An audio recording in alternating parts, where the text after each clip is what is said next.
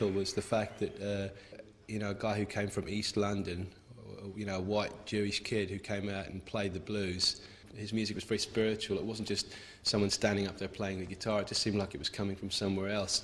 And of course, you know, there aren't that many white blues players who have managed to convince people that, uh, that they were the so-called real thing.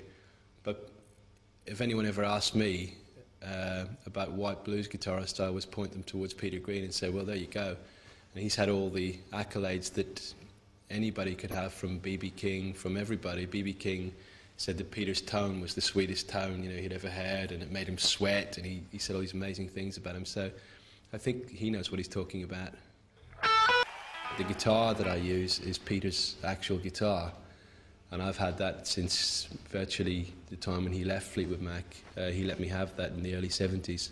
He let me have it for a few days, and then he called me up and asked me if I wanted to buy it. And I said, well, there's no way I'd be able to afford a guitar like this. And he said, well, uh, if you sell your main guitar, give me the, whatever you get for that, give it to me, and it would be like kind of swapping guitars because it wasn't like a money thing. He just wanted it to have a good home.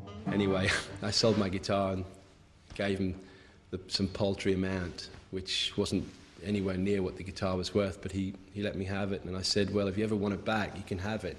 And he said, well, I'll never ask you for it back. But I've, I've had it ever since then, and that's the one that's on the album. That's the one I'm playing today.